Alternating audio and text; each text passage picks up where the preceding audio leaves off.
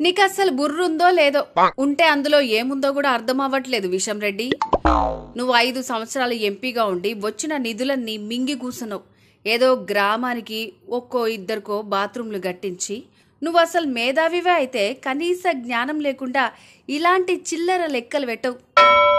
రంజిత్ రెడ్డి గారు ఎంపీగా ఉన్న ఐదు సంవత్సరాలలో రెండు సంవత్సరాలు కరోనా వల్ల అభివృద్ధి పనులు నిలిచిపోయినాయి. ఆ రెండు సంవత్సరాల ఎంపీ నిధులు కూడా పీఎం కోవిడ్ రిలీఫ్ ఫండ్కే వెళ్ళాయి. అలా పోను పోను పదిహేను కోట్లు ఎంపీ నిధులు మాత్రమే వచ్చాయని నీకు తెలియదా? తప్పుడు లెక్కలతో ఎందుకు విషం రెడ్డి జనాలకు విషమెక్కిస్తున్నావు? ప్రతికూల పరిస్థితులను ఎదుర్కొంటూ రంజిత్ రెడ్డి గారు ఎన్నో వందల కోట్ల అభివృద్ధి పనులు చేశారు. తన సొంత నిధులను కూడా ఖర్చు చేసి చేవెళ్ళను కంటికి రెప్పలాగా కాపాడుకున్నాడు. ఇది కదా ప్రజానాయకుడికి ఉండాల్సిన లక్షణం. నీలాగా కోవిడ్ సమయంలో విదేశాలకు పారిపోయి ఎంజాయ్ చేయలేదు